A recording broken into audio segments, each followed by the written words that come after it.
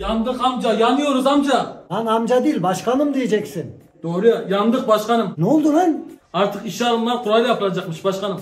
Ne yani istediğimizi torpille işe alamayacak mıyız? Maalesef alamayacağız. Ülkeyi çok güzel günler bekliyor. Liyakatli insanların önü açılacak. Getir de şu kurayı biz hazırlayalım.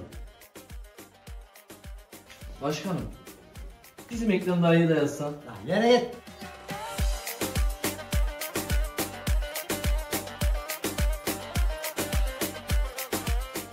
Cafer Sankur. Bizim adam ilk başta çıktı, şansa bak.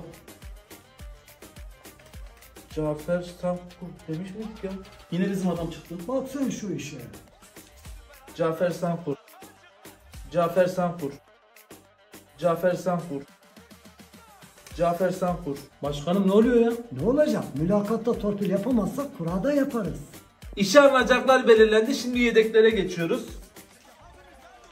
Cafer Sankur ne bereketli adam. Yedekte bile var. Cafer Sankur. Haydi bir de engelli kontenjanına geçelim. Cafer Sankur. Baba kurban. Bakar mısın bir dakika? Buyur amca. İşe alım kurasını sen mi çekeceksin? Evet ben çekeceğim. Kurayı bundan çeksen olmaz mı? Ne farkı var ki amca onun? Titreşimli toplar bunlar yavrum. Niye titreşimli? Bir de benim titreşimli toplarla ne işim var? Titreyen toplarda benim adamlarım var. Kendine gel amca. Ben böyle işleri hayatta yaparım.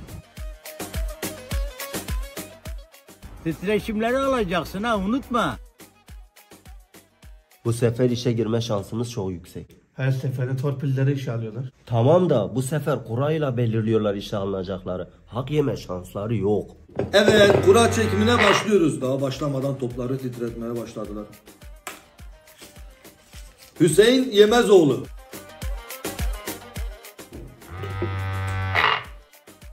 Sedat Yemezoğlu. Evet, üçüncüyü de çekiyoruz. Şükrü Yemezoğlu.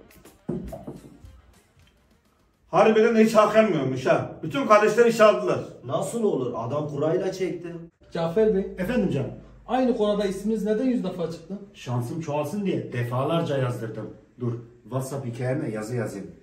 Rızkımı veren hüdadır, kula minnet eyleme. Hakikaten de kula minnet eylemediniz. Tebrik ederim.